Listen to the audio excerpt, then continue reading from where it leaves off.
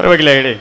ನಿಮ್ಮ ನೋಡಿದ್ರೆ ನನಗೆಲ್ಲ ನೋಡಿದಾಗ ಅನಿಸ್ತಾ ಇದೆಯಲ್ಲ? ಎಲ್ಲಿ ನೋಡಿದ್ರ ಮೇಡಮ್ ಹಾ ಅವತ್ತು ನಮ್ಮ ಕಾಲೇಜ್ನ ವಾರ್ಷಿಕ ಸ್ನೇಹ ಸಮ್ಮೇಳನ ದಿನದಂದು ನೀವು ಅತಿಥಿಯಾಗಿ ಬಂದಿದ್ರಿ. ಅದು ಅಲ್ಲದೆ ಅವತ್ತೊಂದು ಹಾಡು ಕೂಡ ಹಾಡಿದ್ರಿ. ಆ ಹಾಡು ಹಾಡಿದ್ದು ನೀವೇ ತಾನೆ? ಆ ಹಾಡು ನಿಮ್ಗೆ ಇಷ್ಟವಾಯ್ತಾ? ತುಂಬಾ ಇಷ್ಟವಾಯ್ತು ರೀ. ಅಷ್ಟೇ ಅಲ್ಲ ಆ ಹಾಡನ್ನ ಕೇಳಿದಾಗಿನಿಂದ ನಾನು ನಿಮ್ಗೋಸ್ಕರವಾಗಿ ಒಂದು ಮಾತು ಹೇಳ್ಬೇಕು ಅಂತ ವೇಟ್ ಮಾಡ್ತಾನೆ. ಅವತ್ತಿನಿಂದ ಆವತ್ತಿನಿಂದ ಇವತ್ತಿನವರೆಗೂ ವೇಟ್ ಮಾಡ್ತಾ ಇದ್ದೀರಾ ಅಂದ್ರೆ ಆ ಮಾತಿನಲ್ಲಿ ಅಷ್ಟೊಂದು ಪ್ರಾಮುಖ್ಯತೆ ಇದೆಯಾ?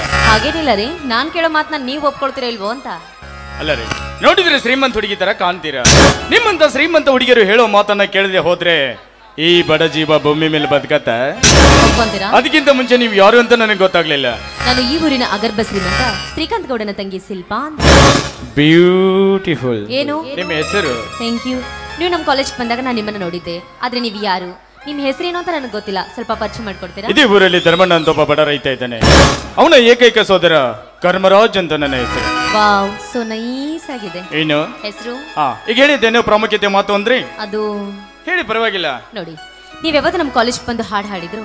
ಆ ಹಾಡನ್ನ ನಾನು ಯಾವತ್ತು ಕೇಳಿದ್ನೋ ಅವತ್ತಿನಿಂದ ನನಗೆ ಗೊತ್ತಿಲ್ಲ ನಾನು ನಿಮ್ಮನ್ನ ತುಂಬಾ ಇಷ್ಟಪಡ್ತಾ ಇದ್ದೀನಿ. ಸಮಸ್ಯೆ ಮಾಡ್ತಾ ಇದ್ದೀರಾ? ಈ ಬಡವನ ನೋಡಿ ಅಪಹಾಸ್ಯ ಮಾಡ್ತಾ ಇದ್ದೀರಾ? ಇಲ್ಲ ರೀ ನಾನೇಕೆ ಅಪಹಾಸ ಮಾಡ್ಲಿ? ನಿಮ್ ಬಗ್ಗೆ ನನ್ನ ಮನಸ್ಸಿನಲ್ಲಿ ಬಿಡುವ ಪ್ರೀತಿ ಭಾವನೆಯನ್ನ ವ್ಯಕ್ತಪಡಿಸ್ತಾ ಇದ್ದೀನಿ. ಯಾವುದ್ರಿ ನಿಮ್ ಪ್ರೀತಿ?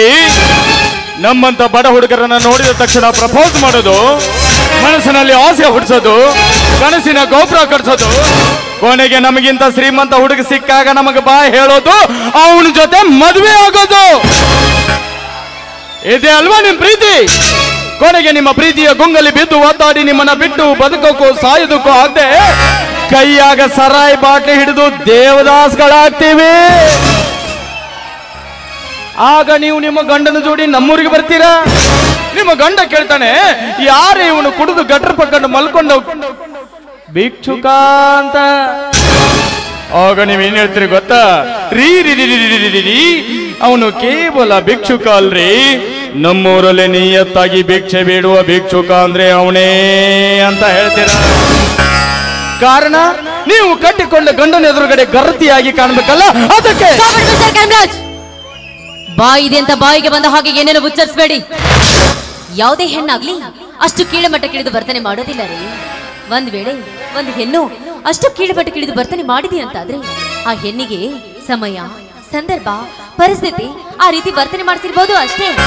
ಇಷ್ಟಕ್ಕೂ ನೀವು ತಿಳ್ಕೊಂಡಂತ ಕೆಟ್ಟ ಉದ್ದೇಶ ನನ್ನ ಮನಸ್ಸಿನಲ್ಲಿಲ್ಲ. ನಾನು ನಿಮ್ಮನ್ನ ಮನಸಾರೆ ಪ್ರೀತಿಸ್ತಾ ಇದ್ದೀನಿ. ನಿಮ್ಮನೆ ಮದುವೆಗೆ ಜೀವನ ಸಾಗಿಸಬೇಕು ಅಂತ ಆಸೆ ಇಟ್ಕೊಂಡು. ಬಡವನ ಜೊತೆ ಜೀವನ, ಈ ಬಡವನ ಜೊತೆ ಮದುವೆ. ದೂರದ ಬೆಟ್ಟ ಕಣ್ಣಿಗೆ ಮಾತ್ರ ಸುಂದರವಾಗಿ ಕಾಣುತ್ತೆ. ಹತ್ತಿರ ಹೋಗಿ ನೋಡಿದಾಗಲೇ ಅರ್ಥ ಆಗತ್ತೆ. ಆ ಬೆಟ್ಟದಲ್ಲಿ ಕೇವಲ ಕಲ್ಲು ಮುಳ್ಳಿನ ಆಘರವೇ ತುಂಬಿದೆ ಎಂದು. ಪ್ರೀತಿ ಕೂಡ ಹಾಗೆ ಮೇಡಮ್ ಪ್ರೀತಿ ಎಂಬ ಎರಡಕ್ಷರ ಹೃದಯದಲ್ಲಿ ಹುಟ್ಟಿದಾಗ ತುಂಬಾ ಸುಂದರವಾಗಿ ಕಾಣುತ್ತೆ. ಆದ್ರೆ ಹೋಗ್ತಾ ಹೋಗ್ತಾ ಹೋಗ್ತಾ ಹೋಗ್ತಾನೆ ಅರ್ಥ ಆಗತ್ತೆ. ಈ ಪ್ರೀತಿಯನ್ನು ಎರಡಕ್ಷರದಲ್ಲಿ ಕಣ್ಣೀರಿನ ಕಡಲೆ ತುಂಬಿದೆ ಎಂದು. ಈ ಕಣ್ಣೀರಿನ ಕಡಲಿನಲ್ಲಿ ಬಿದ್ದು ಓದಾಡೋದಕ್ಕೆ ನನಗೆ ಇಷ್ಟ ಇಲ್ಲ. ಯಾಕೆಂದ್ರೆ ನನ್ನ ನನ್ನ ಒಬ್ಬ ಬಡ ರೈತ. ನನ್ನನ್ನು ಎಂ ಬಿ ಬಿ ಎಸ್ ಓಸಿ ಡಾಕ್ಟರ್ ಮಾಡಬೇಕು ಅಂತ ಕನಸ್ಕೊಂತ ಇದ್ದಾನೆ. ನನ್ನ ಪ್ರೀತಿ ನಿಮ್ಗೆ ಸಿಗಲ್ಲ ಮೇಡಮ್ ಸಾರಿ ನೋಡಿ ನಿಮ್ಮ ಅಣ್ಣ ಅತ್ತಿಗೆನ ತಿರಸ್ಕಾರ ಮಾಡಿ. ನೀವು ನನ್ನನ್ನ ಪ್ರೀತಿ ಮಾಡಿ ಅಂತ ನಾನು ನಿಮ್ಗೆ ಕೇಳ್ತಾ ಇಲ್ಲ. ಆದ್ರೆ ನಾನು ಹೇಗೆ ನಿಮ್ಮನ್ನ ಇಷ್ಟಪಡ್ತಾ ಇದ್ದೀನೋ ನೀವು ಕೂಡ ನನ್ನನ್ನೇ ಪ್ರೀತಿ ಮಾಡ್ತೀನಿ ಅಂತ ಒಂದೇ ಒಂದು ಮಾತು ಹೇಳಿ. ನಿಮ್ಮ ಅಣ್ಣ ಅತ್ತಿಗೆ ನಮ್ಮಿಬ್ಬರ ಪ್ರೀತಿಗೆ ಒಪ್ಪಿಗೆ ಕೊಟ್ಟ ಮೇಲೆ ಮದ್ವೆ ಆಗಿ. ನೀವು ಪ್ರೀತಿಯಲ್ಲಿ ಬಿದ್ದು ಓದಾಡ್ತಾ ಇದ್ದೀರಾ? ಒಂದ್ಸರಿ ಕಣ್ತೊಗೆದ್ ನೋಡಿ, ಪ್ರಪಂಚ ತುಂಬಾ ವಿಶಾಲವಾಗಿದೆ. ಒಬ್ಬ ಅಯೋಗ್ಯನನ್ನ ಪ್ರೀತಿಸಿದ್ದೆ ನನ್ನ ತಪ್ಪಾಯ್ತು ಅನ್ಕೊಳ್ಳಿ. ಇಂತ ಕಲ್ಲು ಹಿಡಿದ ಕಟಕನನ್ನು ಪ್ರೀತಿಸಿದ್ದು ನನ್ನ ತಪ್ಪಾಯ್ತು ಅನ್ಕೊಳ್ಳಿ. ನನ್ನ ಪ್ರೀತಿ ನಿಮ್ ಸಿಗಲ್ಲ. ಬಾಯ್ ಈ ಶಿಲ್ಪ ಯಾವತ್ತು ಯಾವುದಕ್ಕೂ ಆಸೆ ಪಡೋದಿಲ್ಲ. ಒಂದ್ ವೇಳೆ ನನ್ ಮನ್ಸಾರೆ ಇಷ್ಟಪಟ್ಟು ಆಸೆ ಪಟ್ಟಿದೆ ನಿಜವಾದ್ರೆ ಅದನ್ನ ಬಿಟ್ಟಿರೋದು ಈ ಸೀಲ್ಪಾಳ ಇತಿಹಾಸದಲ್ಲಿ ಬಂದಿಲ್ಲ. ಮುಂದೆ ಬರೋದಕ್ಕೆ ಸಾಧ್ಯನೂ ಇಲ್ಲ.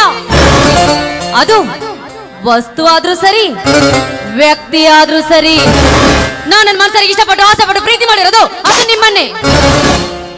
ನಾನು ಮದ್ವೆ ಆಗ್ಬೇಕಂತ ಸಾವಿರಾರು ಆಸೆ ಅಂಶಗಳನ್ನ ಮನಸ್ಸಲ್ಲಿ ಹೊತ್ಕೊಂಡಿದ್ದು ಕೂಡ ಅದು ನಿಮ್ ಜೊತೆಗೇನೆ. ಮಿಸ್ಟರ್ ಕರ್ಮರಾಜ್ ಒಂದ್ ಬಂಡಿ ಹೆಣ್ಣು.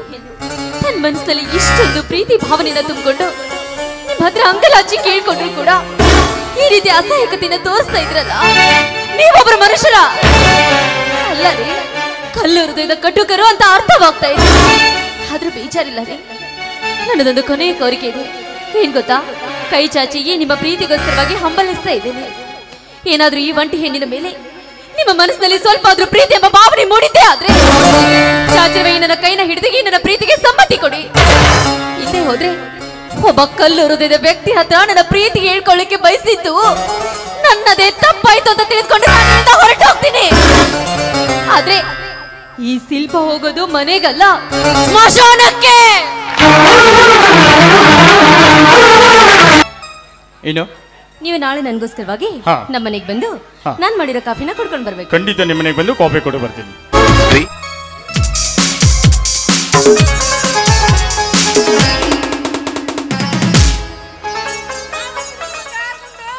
ಏನ್ ಮಾಡ್ತಾ ಇದ್ದೆ ಒಳಗಡೆ? ಒಳಗಡೆ? ಹಾ. ಚಪಾತಿ ಇದ್ನ? ಅದನ್ನ ತಂದು ನನ್ನ ಗಲ್ಲದ ಮೇಲೆ ಲಟ್ಟಿಸ್ಬಿಟ್ಟೆ ಏನಮ್ಮ ನೀನು? ಅಣ್ಣ ಇಲ್ಲಿ ಕಾಣ್ತಾನೆ ಇಲ್ಲ? ಹಾ. ನೋಡಿ ಇದೀಗ ಹೊಲಕ್ಕೆ ಹೋದ್ರ ನೋಡಪ್ಪ. ಅಂದ್ರೆ ಈ ದರಿದ್ರ ಇವತ್ತು ಮನೆಗೆ ಬರ್ತಾನೆ. ಶಿಕ್ಷಣಕ್ಕೋಸ್ಕರ ದುಡ್ಡು ಕೇಳ್ತಾನೆ ಅಂತ ಹೋಗಿರ್ಬೋದಲ್ಲ. ಯಾಕೋ? ಮಾತಾಡಕಂತೀನಿ ನಿಮ್ಮ ಅಣ್ಣಗ್ ನೀನಂದ್ರೆ ಎಷ್ಟು ಪ್ರೀತಿನೋ ಭೂಮಿ ತಾಯಿ ಅಂದ್ರೆ ಅಷ್ಟ ಪ್ರೀತಿ ನಿಮ್ಮ ಅಣ್ಣಗೆ ನಿಜಮ್ಮ ನಮ್ಮ ಅಣ್ಣನಿಗೆ ಭೂಮಿ ತಾಯಿ ಅಂದ್ರೆ ತುಂಬಾ ಪ್ರೀತಿ. ಅದಕ್ಕೆ ಬಲ್ಲವರು ಒಂದು ಮಾತು ಹೇಳಿದ್ರು ಒಕ್ಕಲಿಗ ಒಕ್ಕದಿದ್ದರೆ ಬಿಕ್ಕುವುದು ಜಗವೆಲ್ಲ ಎಂದು. ಭೂಮಿ ತಾಯಿಯಲ್ಲಿ ನಮ್ಮ ಅಣ್ಣನಂತ ರೈತ ದುಡಿದಾಗಲೇ ಪ್ರತಿಯೊಂದು ಜೀವರಾಶಿಗೂ ಅನ್ನ ಸಿಗತ್ತೆ. ಹಾ ಅತ್ಗಮ್ಮ ನಾನು ನಿನ್ನ ಹತ್ರ ಒಂದು ವಿಷಯ ಹೇಳ್ಬೇಕಮ್ಮ. ಅದೇನಪ್ಪ? ಏನಿಲ್ಲ ಇವರಲ್ಲಿ ಒಂದು ಹುಡುಗಿ ನಾನು ಪ್ರೀತಿಸ್ತಾ ಇದ್ದೀನಿ. ಹೌದಮ್ಮ. ನೋಡಮ್ಮ ಆ ಹುಡುಗಿ ಯಾರು ಗೊತ್ತಾ? ಯಾರು? ಇದೇ ಊರು ಅಗರ್ಭ ಶ್ರೀಮಂತ ಶ್ರೀಕಾಂತ್ ಗೌಡನ ತಂಗಿ ಶಿಲ್ಪ. ಯಾಕಮ್ಮ ಶಿಲ್ಪ ಅಂದ ತಕ್ಷಣ ಮುಖ ಸಾನ್ ಮಾಡ್ಬಿಟ್ಟೆ? ಇಷ್ಟ ಇಲ್ಲ ಅಂದ್ರೆ ಹೇಳು ನಾನು ಬಿಟ್ಟು ಬಿಡ್ತೀನಿ ಇಲ್ಲಪ್ಪ ಪ್ರೀತಿ ಮಾಡೋದನ್ನ ಎಂದೂ ಅಗಲಿಸ್ಬಾರ್ದು. ಹಾಗಾದ್ರೆ ನಂದು ಶಿಲ್ಪಂದು ಮದುವೆ ಮಾಡಿಸ್ತೀಯಲ್ಲ? ನಿಂದು ಸ್ವಲ್ಪ ಮದುವೆ ಮಾಡಿಸ್ಬೇಕಾ? ಹಾ. ನಿಮ್ಮ ಅಣ್ಣಗೆ ಹೇಳಿ. ಆ? ನಿಮ್ಮ ಅಣ್ಣಗೆ ಹೇಳಿ ನಿಮ್ಮ ಮದುವೆ ಅಣ್ಣಗೆ ಹೇಳಿ ಮದುವೆ ನೀನೇ ಮಾಡಿಸ್ಬೇಕಲ್ವಾ? ಒಲ್ಲಪ್ಪ ನಾ. ಯಾಕೆ? ನೀವ ಅಣ್ಣ ತಮ್ಮ ಏನ್ರ ಮಾಡ್ಕೊಂಡ್ ಬರ್ ಆ? ಹಿಡ್ಕೊಂಡು ಹೊಡೀತ ಮತ್ ನಾನು ಹೆಂಗ್ ಮಾಡ್ಬೇಕೀಗ? ನೀವ ಏನ್ರ ಮಾಡ್ರಿ ನನ್ನ ಈ ವಿಷಯದ ತರ ಅಲ್ಲಮ್ಮ ನೀನ್ ನನ್ನ ತಾಯಿ ಇದ್ದ ಹಾಗೆ ಅಣ್ಣನ ಹತ್ರ ಹೇಳಿ ಮದ್ವೆ ಮಾಡ್ಸಕ್ಕಾಗಲ್ವಾ? ನಿಮ್ಮ ಅಣ್ಣನ ಹತ್ರ ವಿಷಯ ಹೇಳಿ ಹಾ. ಮದ್ವೆ ಮಾಡಿಸ್ಬೇಕಾ? ಹೌದು. ಆಯ್ತು. ನಿಮ್ಮ ಅಣ್ಣ ಒಳ್ಳೆ ಮೂಡಿಗೆ ಬಂದಾರ. ಹಾ ಹಾ. ಒಳ್ಳೆ ಮೂಡ್ನ್ಯಾಗ ಇದ್ದಾಗ ಈ ವಿಷಯ ಇಬ್ರು ಮತ್ತೆ ವಿಷಯ ಮಾತಾಡ್ತೀನಿ. ಸರಿ ಬಾ. ಹಾಗಾದ್ರೆ ಎಫ್ ಎನ್ ಒಳಗಡೆ ಇಡು.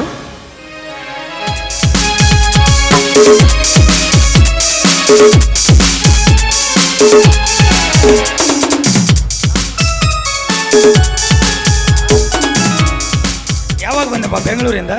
ಬೆಂಗಳೂರಿಂದ ಇದೀಗ ತಾನೆ ಬಂದೇನ ಆ, ವಿದ್ಯಾಭ್ಯಾಸ ಎಲ್ಲ ಚೆನ್ನಾಗಿದೆ ತಾನೆ? ಚೆನ್ನಾಗಿದೆ. ಆದ್ರೆ ಆದ್ರೆ? ಹೌದಣ್ಣ.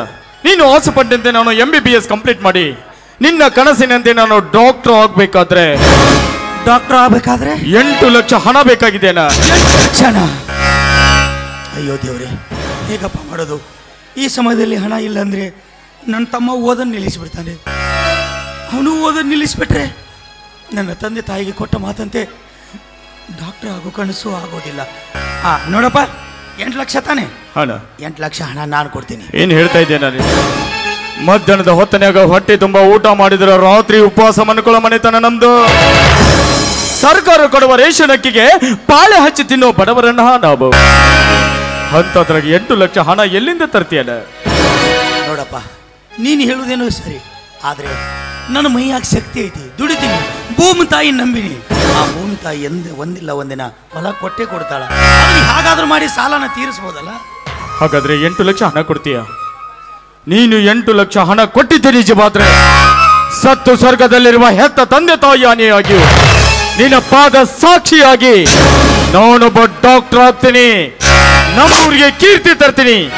ಇದು ನಿನ್ನ ಪಾದದಾನಿಯಾಗಿಯೂ ಸತ್ಯ. ಸಂತೋಷನಪ್ಪ. ತುಂಬ ಸಂತೋಷ. ನಾನು ಹಣ ವ್ಯವಸ್ಥೆ ಮಾಡ್ತೀನಿ. ಯಾವಾಗ ಬೇಕಣ್ಣ? ಇವತ್ತು ಇವತ್ ಸಾಯಂಕಾಲನೇ ಹಣ ಬೇಕಣ್ಣ. ಆಯಿತು. ನಾನು ಹೇಗಾದರೂ ಮಾಡಿ ಹಣದ ವ್ಯವಸ್ಥೆ ಮಾಡ್ತೀನಿ. ನೀನೇನು ಚಿಂತೆ ಮಾಡಬೇಡ. ಆದರೆ ನೀನು ಓದನ್ನು ನಿಲ್ಲಿಸಬಾರ್ದು. ಸರಿ ಒಂದೇ. ಹಾಗಾದರೆ ನನ್ನ ಸ್ನೇಹಿತರ ಹತ್ರ ಸ್ವಲ್ಪ ಕೆಲಸ ಇದೆ. ನಾನು ಮುಗಿಸ್ಕೊಂಡ್ಬರ್ತೀನಿ ಅಲ್ಲಪ್ಪ ಈಗ ತಾನೇ ಬಂದಿದ್ಯಾ? ಊಟ ಮಾಡ್ಕೊಂಡು ಬಂದ ಮೇಲೆ ಊಟ ಮಾಡ್ತೀನಿ ನಾನು ಅರ್ಜೆಂಟ್.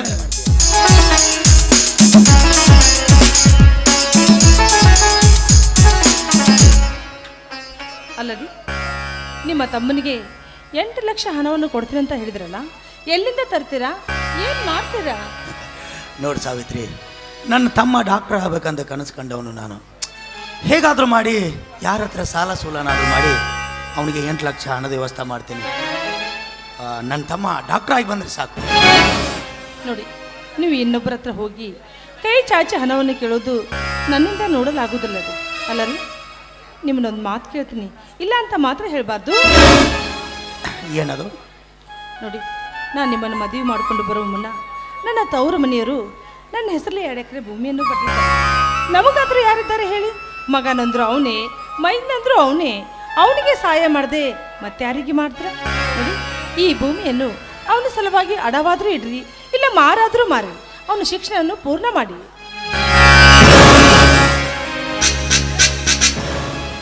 ಮೆಚ್ಚಿದೆ ಕಣೆ.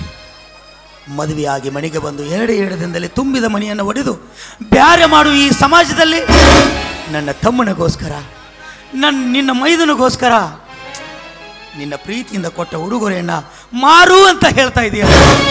ನೀ ನನ್ನ ಹೆಂಡತಿ ಅಲ್ಲ ಕಣೆ. ನೀ ನನ್ನ ಪಾಲಿನ ದೇವತೆ. ಆಯಿತು. ನೀನು ಹೇಳಿದಾಗೆ ನಾನು ಹಣದ ವ್ಯವಸ್ಥೆ ಮಾಡ್ಕೊಂಬರ್ತೀನಿ ತಮ್ಮ ನಾಳೆನೇ ಬೆಂಗಳೂರು ಹೋಗ್ಬೇಕಂತೆ. ಅವನು ಹೊರಗಡೆ ಹೋಗಿದ್ದಾನೆ. ಬಂದಮೇಲೆ ಊಟ ಮಾಡಿಸು ನಾನು ಹಣ ವ್ಯವಸ್ಥೆ ಮಾಡ್ಕೊಂಡು ಸರಿ ಆದಷ್ಟು ಬೇಗನೆ ಬಂದು ಬಿಡಿ.